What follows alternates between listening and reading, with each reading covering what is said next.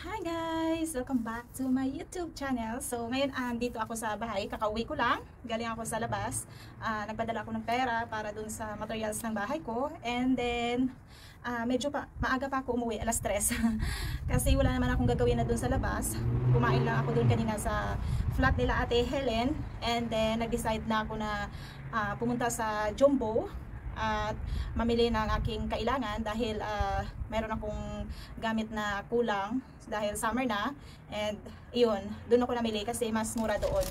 So ayan, so ipapakita ko sa inyo yung aking nabili ayan siya, hello! Ayan, dito ako namimili kasi um, mura yung mga ano dito, mga bili, mga bilihin, bibilihin, bilihin. Pero bago ako pumunta doon, dumano na ako sa Filipino stores, Asian store. Bumili ako ng tinapay. Ayan. And bumili ako ng, itry ko to ang Minola na Star Margarine. And ayan, hindi mawala yung bigas. Actually may bigas pa ako dyan, kaya lang uh, gusto ko may extra. Kasi baka next week ay hindi na ako lalabas. So depende sa tupak. Ayan, bumili ako ng platito. Ah, ano tawag ito? Mangkok. Mangkok pala. Ayan, sorry. Bumili ako ng mangkok kasi yung mangkok ko sa room na binili nakaraan, na nabasag ko. So, itong mangkok na ito is plastic. plastic na talagang binili ko kasi para panigurado pag nahulog, hindi siya mababasag. And bumili ako ng mga curls. Ayan. Uh, Doritos and Chipita. Chips.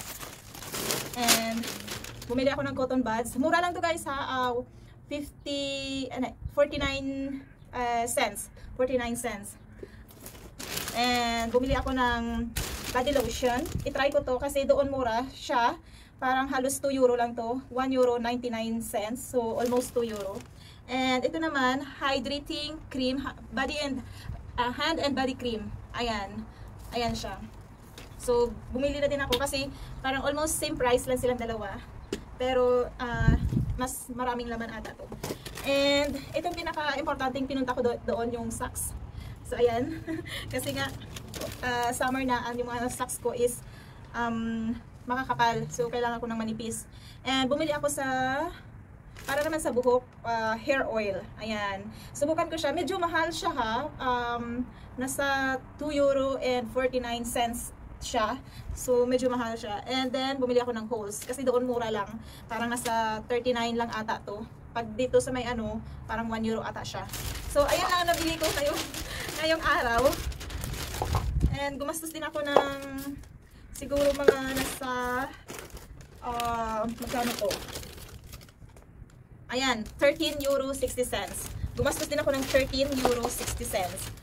Ang galing, 'di ba? Pag pag sa mismong store ko 'to bibilhin sa uh, mall nila dito, mahal siya. Kaya mas pinipili ko talaga pumunta doon. Kasi kahit malayo-layo, at least sulit yung um, pera mo. Pag may 10 euro ka, marami ka nang mabibili. So, ayan lang for today ang ating uh, vlog. Wala akong ibang ma-vlog kasi uh, sobrang init kanina sa city. Hindi ako nakapag-vlog doon. Uh, tinry ko din naman, kaya lang parang hindi kaya ng powers ko yung ano yung iikot na sobrang init.